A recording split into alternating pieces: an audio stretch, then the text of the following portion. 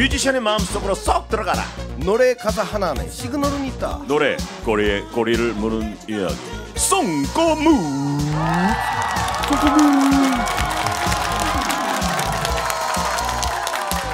가을하면 또 우리가 아, 센치해지고 감성이 풍부해지면서 예, 이 발라드 들어줘야죠. 예. 네. 꼭 들어야 되는 목소리를 가지신 분 중에 한 분입니다. 그래서 모셔볼까 합니다. 국보급 미성 대한민국 레전드 보컬 SG 워너비 아니고 솔로 가수 김용준. 안녕하세요. 반갑습니다. 김용준입니다. 야. 네, 솔로 두 번째요. 솔로는 컬투쇼에. 네, 솔로 저 지난 1월에 한번 어. 나왔었죠. 이쁘지나 말지라는 싱글 앨범 나왔을 때 컬투쇼 고 그러니까. 올해 두 번째 이렇게 찾아뵙네요. 그러니까요. 처음에는 좀 그 혼자 와갖고 쑥스러워했었잖아요. 계속 SG 오너비로 나오다가. 맞아요. 맨날 셋이 다니다가 그러니까. 혼자 와가지고 조금 그때는 좀 쑥스러웠는데 지금 뭐또 괜찮아요? 이제? 하다 보니까 이게 또 적응이 돼서 어. 또 편하네요 이게. 야 그래요? 네. 살도 좀 많이 빠진 것 같아요. 그때보다 좀 빠졌죠. 네. 와 일부러 좀 빼신 거예요? 네, 요번에 앨범 준비하고 뭐 콘서트 준비하면서 어, 어. 뭐 조금 이제 살도 좀 뺐고요. 그리고 자연스럽게 그냥 너무 힘드니까 빠졌어? 빠지더라고요. 어, 어, 어떤 게 힘들어 가지고. 공연 준비하고 뭐 앨범 준비하고 지금 거의 쉬는 날 없이 거의 한 한 달 반 정도를 오. 계속 하루도 못 쉬었어요. 그래 갖고 그러니까 열심히 일하면 빠지는데 네. 얘는 한약을 먹고 빼더라고. 아 그래요? 오늘 오늘 지금 아직 한 지가 한 시간이 안 된 세 번이 언급이 됐고. 한약 한약이요. 예, 뭐 그렇게 뭐 추천드리진 않아요. 텐션이 많이 떨어져가지고. 예, 예. 네. 와 앨범이 어 곡이 좀 몇 개 들어가 있죠? 네, 총 이제 여섯 곡이 들어가 있고요. 어, instrumental까지 하면 일곱 트랙. 네. 이게 지금 미니 앨범식으로 이제 낸 거잖아요. 네 미니 앨범입니다. 와 미니가 이렇게 커요. 미니인데 좀 크죠. 어 노래 앨- 어, 앨범 홍보를 좀 하셔야 될 거예요. 첫 미니 앨범을 발표하셨기 때문에 네, 자 그럼 한번 마음껏 홍보하시죠. 네, 어 저의 첫 미니 앨범 문득이 발매가 되었습니다. 문득 네, 딱 일주일 전에 발매가 됐는데요. 네, 그 우리가 이제 사랑하면서 이별하고 그리워하는 그런 마음들 그런 게 이제 문득 문득 떠오를 때가 있잖아요. 저 있죠. 예. 네, 그런 내용을 담은 이제 음악들이 들어 있어요. 그래서 앨범명을 문득이라고 했고 타이틀곡은 어, 가- 작곡가 조영수님과 같이 아 조영수 씨하고 또 네, 호흡을 그 맞췄구나. 어떻게 널 잊어라는 곡이고요.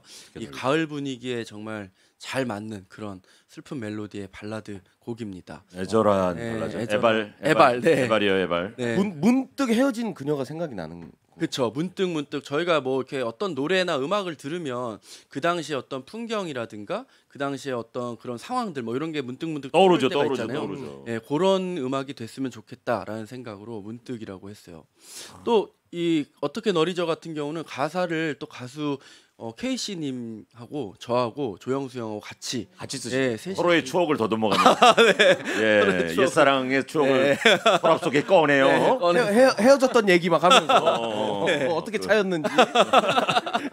가슴을 부여잡고 네. 그러니까 와 역시 뭐 어, 우리 용준 씨 목소리는 워낙 좀 슬프기도 하지만 약간 뭐라 그럴까요? 완전 적절하게 슬픈 느낌보다는 어. 혹시 용준 씨의 그 슬픈 발라드 목소리가 조금 더 애잔한 그런 느낌이 네, 드는 것 같아요. 느낌이죠. 어. 요즘 또 트렌드가 그렇잖아요. 담백하게 그냥 말하듯이 뱉어내는 네. 느낌이라고 해야 되나? 그렇죠. 당신도 앨, 앨, 앨범 안 냈나?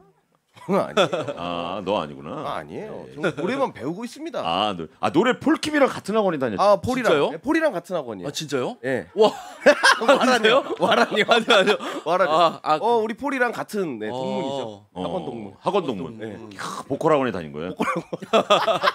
아니 근데 곽범님도 가수를 하셨잖아요 또 부캐로.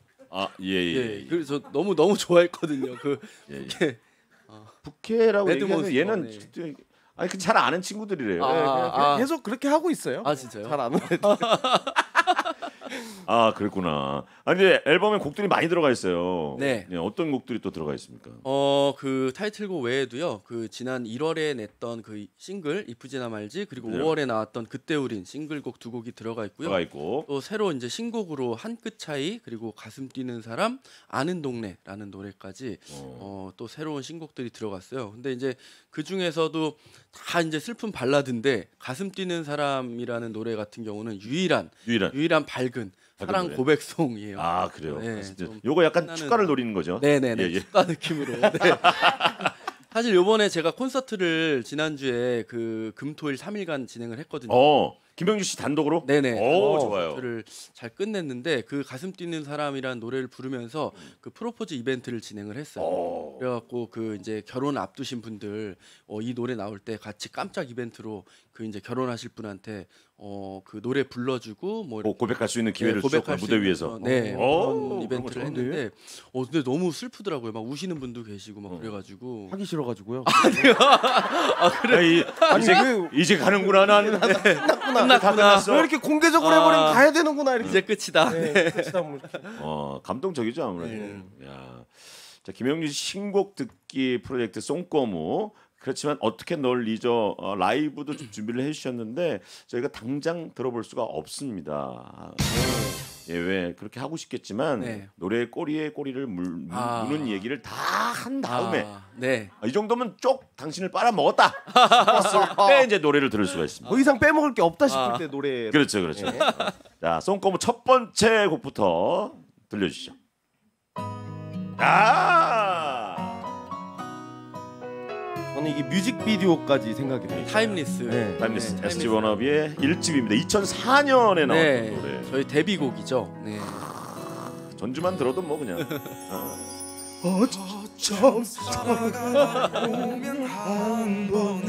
제가 딱 이 노래 나왔을 때 고3 때였거든요. 아, 진짜요? 네, 고3 때인데 그때 노래방을 가잖아요. 음, 남자들이 다 이러고 다 이러고 전부 다.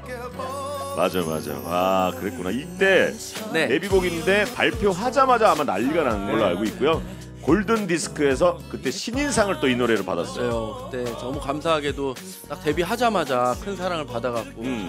참 너무 행복한 시절이었죠. 네. 그랬구나. 너무 잘 돼서 좋았겠어요. 시작부터 그죠? 네, 어, 시작 딱 하자마자 정말 뭐 많은 분들이 Timeless 다 알아주시고 그때는 사실 저희가 처음에 이제 얼굴 없는 가수로 맞아요, 맞아요. 데뷔를 해갖고 그 뮤직비디오가 굉장히 유명했었어요. 맞아. 그 당시에 뭐 설경구 씨도 맞아, 나오고 맞아. 향부 씨도 나오고 네, 막 김윤진 씨, 뭐 강혜정 씨, 뭐 정말 그 내로라는 정말 그 배우들이. 많은 배우분들이 참여해 주셔가지고 뮤직비디오를 또 그때 보는 재미도 아마. 있으셨을 것 같아요. 근데 여기에는 지금 김용준 씨 목소리가 없다라는 얘기가 그쵸. 저는 그때 얼굴도 없고 목소리도 없었죠. 거의 둘 다 없었죠. 없는 사람인데요, 그냥. 근데 이게 사실 이 behind를 말씀드리자면 처음부터 파트가 없었던 건 아니고 어. 당시 이제 사장님께서 녹음실에 이제 오셔가지고 이것저것 막 이렇게 컨트롤을 많이 하셨어요. 아. 그래서 이제 녹음하다가 야 이거 막 들어 들어보시다가 야 이거 아닌데 너 빠져. 야 너 이거 이거 말고 넌 이거 해. 뭐 이런 식으로 하시다가 어. 보니까 없어지더라고요.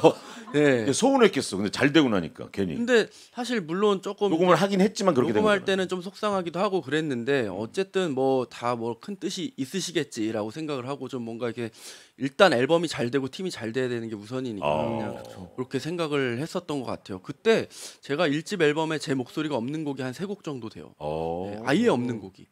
예, 근데 이제 물론 저희가 라이브 할 때는 파트 나눠서 하지만 하지만은 같이 불렀는데 앨범에는 제 목소리가 한 세 곡 정도가 빠져 있죠. 야, 그래서 한풀 듯이 이번 콘서트에 혼자 이걸 다 불렀어. 네, 혼자 Timeless도 부르고 뭐 그때 당시 이제 일집 때 사랑하고 싶어라는 어. 곡이 있었는데 그 곡도 목소리가 없었어요. 그거랑 해서 이제 한을 풀었구나 공연장에. 혼자 네 혼자 아주 시원하게 불렀습니다. 네. 아니 또 멤버 중에 김진호 씨가 네. 이런 말을 어디서 했더라고요. 김용준은 SG 워너비 활동하면서 가장 본인을 덜 챙긴 사람이다. 음 이게 무슨 의미예요?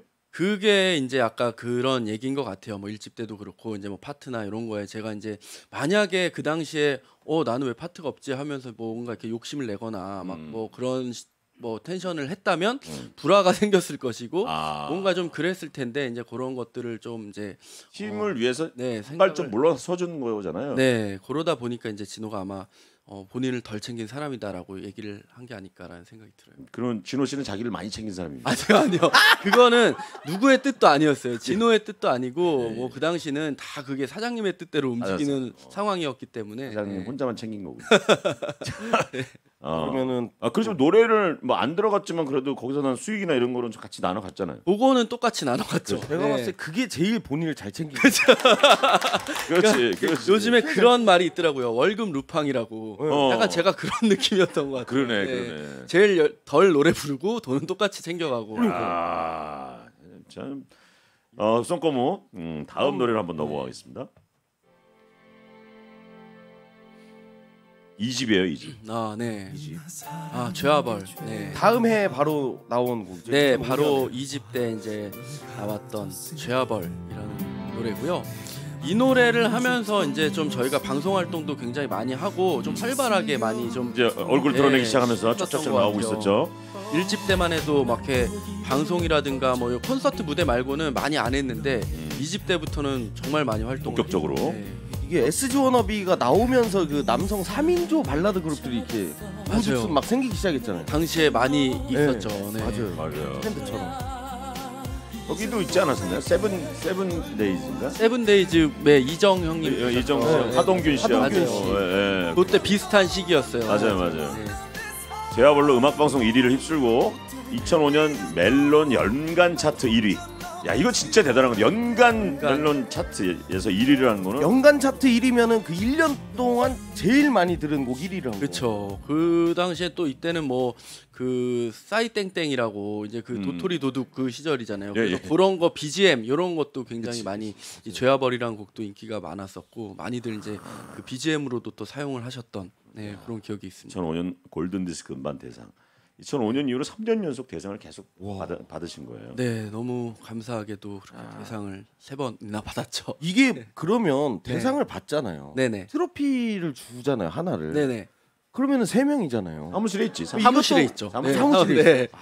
이게 세 번 받았으면 하나씩 뭐 하나씩 가져가. 4년도 거너 갖고 네. 음. 5년도 갖고 이렇게 할 줄 알았다. 사실 그랬으면 좋았을 텐데 그때는 그런 생각을 못 했던 것 같아요. 그러니까 어. 뭐 내년에 또 받을 수 있을지 모르잖아요. 모르니까 네, 그냥 누가 가져가기도 애매하고. 사무실에 이제 그 사장님 방에 이렇게 장식해 놓고 사장님이 이제 네. 걸레로 조금씩 조금씩 딱, 난 닦듯이, 난 닦듯이 딱 무조건 닦아야죠.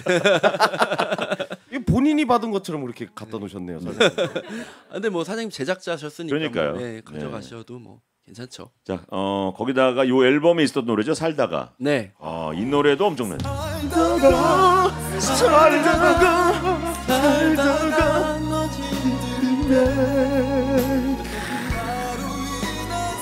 아 노래 앨범 자체가 대박이 난 거야 그냥. 이게 이것도 이 집에 있는 곡이죠. 예. 그러니까 이 당시에는 사실 뭐 요즘에는 이제 타이틀곡 한 곡으로 활동을 하지만 음. 이때만 해도 활동 기간이 뭐 한 음악 방송을 한 달, 두 달, 뭐 6주 막 이렇게도 했었어요. 네. 그러면서 이제 타이틀곡 처음에 활동하고 그다음 후속곡 후속곡 활동하고 있죠. 후속곡. 뭐 그다음에 세 번째 후속곡 활동까지 막 하던 시절이라 맞아요. 이때는 좀그 앨범에 있는 정규 앨범을 많이 발표하던 시기인데 앨범에 있는 곡들 뭐 수록곡들까지 다 사랑을 맞아요. 받았던 그런 시기였던 것 같아요. 앨범에 있는 전곡이 뜨는 세대는 그러니까 그 전부터 맞아요. 있었잖아요. 맞아요. 네. 뭐 김건모 선배님부터 해서 신승훈 선배님. 뭐 맞아요. 조성모 씨, 뭐 이렇게 뭐 쭉쭉 난리가 났었는데 아 그 명명을 잇고 있었죠 SG 워너비가. 자 송꼬무 지금의 김용준 씨를 만든 명곡들 아, 듣고 있습니다. 자 다음 곡은요. 2000 아우 바로 알죠 이거. 나와요. 2008년 네. SG 워너비 랄라라입니다. 랄랄라 이 노래 정말 큰 사랑을 받았죠. 진짜 사실 이 노래를 통해서 에스전어비가 좀 이 남녀노소 이 대중분들한테 폭넓게 사랑받을 수 있었던 맞아요, 그런 맞아요. 계기였던 것 같아요. 라라라가 이제 어르신들도 굉장히 좋아하고 너무 좋아. 멜로디가 너무 네. 예뻐요. 네, 사랑스럽고 가사도 그렇고 축가에서 엄청나게 불러댑니다. 이 노래. 엄청 불러. 저도 축가하면은 라라라를 꼭 부르거든요. 그러니까. 이게 축가를 하면은 거의 그 후렴구는 신랑 신부도 같이 부를 정도로. 그렇지. 네. 그리고 사랑해 할 때 뽀뽀 시키고. 사랑해 뽀뽀하세요. 사랑해. 맞아요. 맞아요. 우리 매니저도 노래를 좀 잘하거든요. 아. 서목포 출신인데. 와 진짜요? 예, 예, 얼마 전에 신인 가수로 앨범 또 내기도 했는데 아 그 친구도 축가 가면 꼭 이 노래를, 이 노래를. 많이 부릅니다. 예. 이게 뭐 또 대부분 아시는 노래이기 때문에 거기 객석에 계신 분들도 이렇게 좀 따라 따라도 해주시고 하기 때문에 분위기가 좋아지더라고요. 아 이석훈 씨가 이 앨범부터 합류를 하기 시작했군요. 네, 2008년에 이제 S전업의 새 멤버로 이제 들어와가지고 그때부터 지금까지 저희와 쭉 함께 하고. 경쟁률이 엄청났죠. 근데 뭐 500대 1 뭐 이랬다고 하는데 나머지 499명을 저희가 본 적이 없어요. 그래서 이거 누가 이- 퍼뜨린 얘기예요? 아, 그냥 그때 당시 이제 뭐 아무래도 새 멤버가 왔다 하면 이슈가 돼야 되니까 어, 그 기사를 않을까? 이렇게 뭐 그냥 회사에서 이제 기자분들한테 그렇게 이제 설명을 한 게 아니라 사장님이 499명을 보신 것 같아요.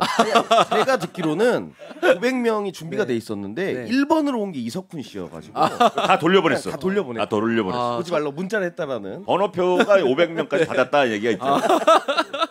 네, 그 진실은 정말 아무도 모르는데. 예 예예. 예. 제가 그 498번째 있었거든요. 아 정말요? 아, 그리고 제가 500번 딱 받았어요. 어, 예, 예. 못 보고 아 이제 됐으니까 가시라고 그래요. 가는 길 아, 문자가 와가지고 안타까웠습니다. 네. 오늘 좀 재미- 이상한 재미난- 데 터지고 계세요. SG 워너비 설명해둔 사이트 글에도 네. 어, 외모 담당이 김용주 씨, 김용준 씨다. 이 아, 세분 네. 중에 어, 1집부터 5집 때까지 SG 워너비의 얼굴 마담이었다. 음, 아. 근데 그럼 때까지라고 한 거 보면 이제부터는 이석훈 씨한테 자리를 내준 건가요? 그렇죠. 뭐 근데 사실 뭐 S전업이라는 팀 자체가 막 비주얼 그룹도 아니고 막 그래서 얼굴 뭐 이런 거를 논하기가 조금 그렇지만 왜요? 잘생겼잖아요. 그나마 이제 그랬다는 뜻인 것 같고 왜냐면 제가 또 이제 노래도 뭐 파트가 많지 않고 이러다 보니까 음. 그 대중분들이 그렇게 생각을 하신 것 같아요. 아 쟤는 어 외모 담당이구나. 이렇게 어. 외모 담당 어. 멤버구나. 이렇게 어. 생각을 하신 것 같은데 이제 석훈이가 들어오고 나서 이제 처음부터 그랬던 건 아니고 석훈이가 이제 안경을 쓰기 시작하면서부터 어, 안경을 쓰면서 교회 오빠 이미지가 이제 그렇지. 정착이 되면서 그러면서 제가 또 살이 찌기 시작했어요. 급격하게. 아. 그러면서 이제 조금 이런 말들이 나왔던 것 같아요. 바통을 잔슬 그렇게 네. 넘겨주거든요. 안경을 씀으로써 나는 살이 찌고 빠져나가고 지금 현재는 누굴 거예요? 지금 뭐 이 정도 좀 지금 슬림해지고 아주 좋아졌잖아요. 아니 근데 뭐? 석훈이 나름의 또 매력이 있고 또 진호 나름의 매력이 있고 또 저의 또 이게 있으니까 근데 뭐 그건 취향의 차이신 것 같아요. 네. 아. 석훈이는 좀 약간 좀 어, 자상해 보이고 이런 교회 오빠 약간 이런 느낌이 있다면 저는 조금 뭐랄까요 어떤 느낌일까요? 본인이 본인을 좀 얘기를 한번 해주세요. 저는 그냥 좀 어 그냥 오빠? 잘 웃어가지고 그냥 좀 이렇게 밝은 느낌? 그러니까 좀 석훈 씨는 아까 얘기하신 그런 스타일인데 좀 그냥 아이돌 얼굴이에요. 아 그래요? 응. 아 정말 약간 Fly to the Sky 환희 씨도 좀 보이고. 그때 환희 형이랑 같이 나왔었는데 1월 달에 맞아요, 맞아요, 맞아요. 네. 느낌이 좀 아. 비슷하죠, 환희 씨랑. 어, 어. 이제 살도 빼고 하셨으니까 이제 네. 이석훈 씨한테는 안경을 벗어라. 야, 비겁하게 계속 쓰냐? 어느 정도는 나도 이제 뺐으니까 했는데 너도 안경을 벗어라. 근데 석훈이가 안- 원래 시력이 나빠서 안경을 쓴 게 아니고 이미지 때문에 쓴 어? 거죠. 예, 그게 이제 처음에 석훈이가 이제 저희 멤버로 첫 들어왔을 때 안경을 원래 안 쓰고 이제 활동을 했었어요. 근데 이제 사장님께서 야 너 안경 써라 이래 가지고 안경을 쓰기 시작했는데 그게 저 너무 잘 어울렸던 거예요. 어, 저도 듣기로는 이석훈 씨가 몽골 사람처럼 멀리 본다. 체력이 너무 좋아서. 너무 좋아서 네. 체력이 너무 좋아서. 거의 3.0이라는 얘기가 있어. 인디언 느낌이에요. 인디언 느낌. 목동에서 그 위에 김포항 날아다니는 비행기 어. 어. 디 비행기인지 항공사를 안 돼요. 그러니까 이제 이제 안경을 안 써. 기장님하고 인사한다는 얘기가 예. 있어요. 그러니까 이미지 때문에 쓰는 거니까. 이미지 때문에 얼마나 불편할까 그렇게 잘 보이면 아, 그렇게 잘 보이면 얼마나 불편할까요 그냥 안경이라도 써서 나빠지게 해야지 아 그나저나 이제 멤버 김진호 씨가 결혼을 앞두고 있죠 네, 이제 곧 어. 내일 모레 네 일요일 날 이제 결혼을 합니다. 와. 그래서 장가를 갑니다. 네. 아, 장가를 다는구나 네. 음, 그럼 용준 씨는 이제 사회를 보나요 저는 이제 네 원래 이제 저랑 석훈이랑 축가를 하게 될지 사회를 보게 될지 이제 음. 뭐 이제 진호가 이제 사실은 그건 이제 예 예 예 본인 시기니까 근데 저희한테 이제 사회를 부탁을 하더라고요. 그래갖고 석훈이하고 저하고 이제 같이 공동으로 사회를 보게. 아 공동 사회로 네. 축가는 누가 제일 궁금하다. 축가. 축가는 저도 모르겠어요. 그러니까 어떤 뭔가 뭔가 또 꾸미고 있는 것 같은데, 있겠고. 네 뭔가 를 어. 꾸미고 있는 것 같긴 한데 어. 정확히 저도 지금 네 모르겠습니다. 아니 세 분이서 같이 안 하나요 축가를?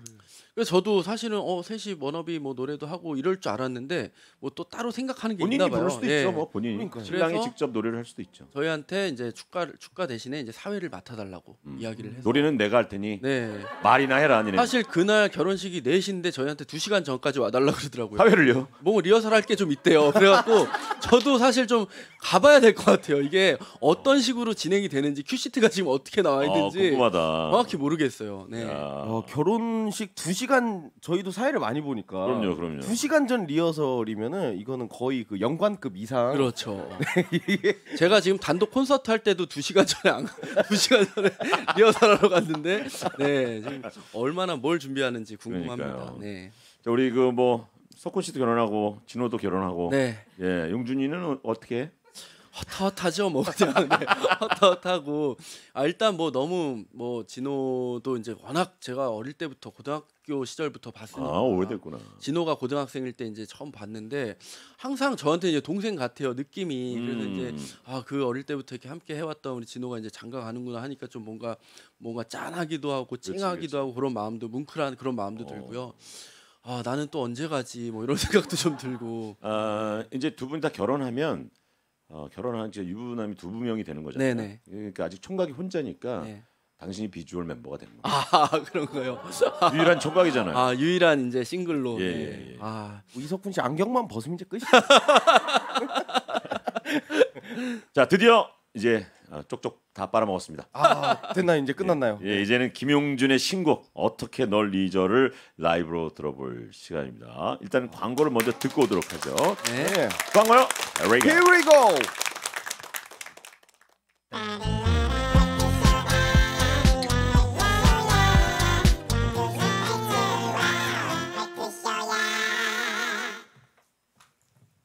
자, 광고 잘 듣고 왔고요. 우리 새 앨범 문득 미니 앨범 발표한 우리 김용준 씨의 라이브를 들어볼 건데 문자가 하나 왔습니다. 네네네네. 앨범 제목이 문득이라고 얘기를 하니까 8268님 새 앨범명이 문득이에요?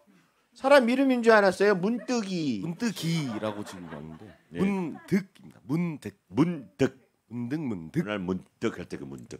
자, 어, 새 앨범 미니 앨범 문득의 타이틀곡 어떻게 널 잊어 김용준의 목소리로 듣겠습니다. 박수로 청해 듣겠습니다.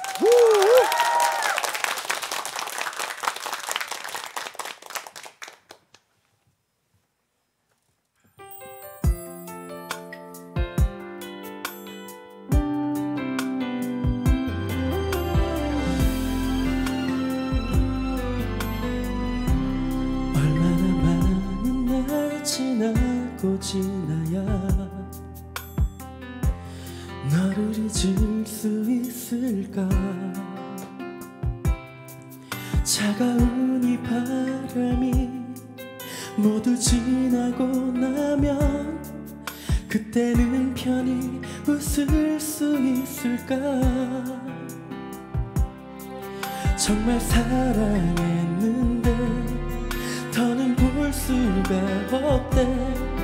너 없는 하루를 또 어떻게 살아? 어떻게 널 잊어? 나 어떻게 널 지워?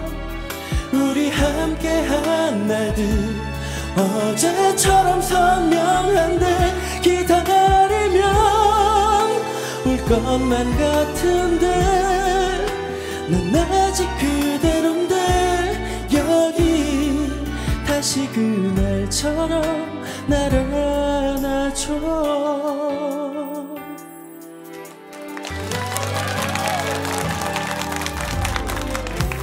더 많이 사랑한다고 말해줄걸.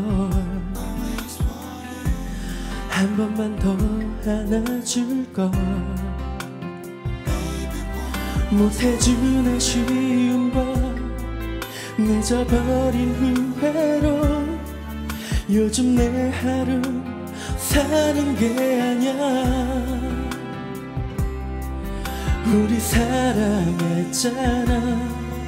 너무 행복했잖아. 농담처럼 다시 내게 돌아와 어떻게 널 잊어? 나 어떻게 널 지워? 우리 함께한 날들 어제처럼 선명한데 기다리면 올 것만 같은데 난 아직 그대로인데 여기 다시 그날처럼 날 안아줘 잊니? 나 죽어도 못 잊어. 목숨보다 아꼈던 너를 잊고 살아가니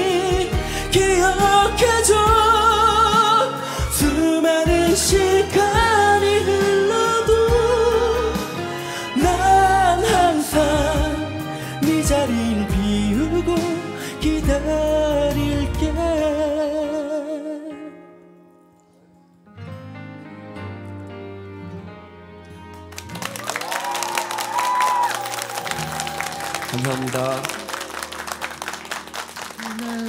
어떻게 날 잊어 어떻게 날 잊어 야 멜로디가 싸우네요, 그죠? 아, 되게 쉬운 멜로디라서 그러니까. 네, 금방 따라 부르실 수 있는 네, 그런 멜로디 조영수 갖고 씨가 있습니다. 썼습니다. 와 오늘 손꼽무 이렇게 해서 라이브까지 듣고 어, 김영주 씨와 함께 했는데 오늘 어떠셨어요? 이제 보내드릴 시간이에요. 네, 아 정말 이 오랜만에 또 컬투쇼에 나왔는데요. 이렇게 또 신곡 홍보도 할 수 있고 노래도 부르고 갈 수 있어서 너무 기분 좋았고요. 다음에 또 언제든지 찾아주시면 또 놀러 오겠습니다. 아유 그럼요. 네, 너무 너무 제가 애청자거든요. 진짜 아. 차에서 운전할 때 맨날 컬투쇼만 틀어놓고 다녀요. 오 2시에서 4시만 이동을 하시나 봐요 아니요, 보통 따로 알바를 하세요? 아니요. 아니 그 사연 모음집 이런 것도 맨날 아, 보고요. 네. 너무 재밌어가지고. 도로문 운전을 이렇게 딱 깰 때 너무 좋죠. 저희 이게 웃으면서 운전하니까. 자, 이네이 많은 사랑 부탁드리겠습니다. 대박 나시고 문득 네. 앨범. 대박 나시길 바랍니다. 감사합니다. 나와주셔서 감사드리고요. 어, 방청 문자 하나 읽을까요? 1512님 오늘 귀호광 합니다. 꿀보이스 멋졌어요. 감사해요 하셨네요. 네. 네 감사합니다 감사합니다. 아 저희는 3부로 넘어가야 될 것 같습니다. 네. 자, 우리 저희는 3부로 가고요. 네. 용주 씨는 집으로 가세요. 네 감사합니다. 안녕히 계세요. 네 감사합니다. 에러 에러 에러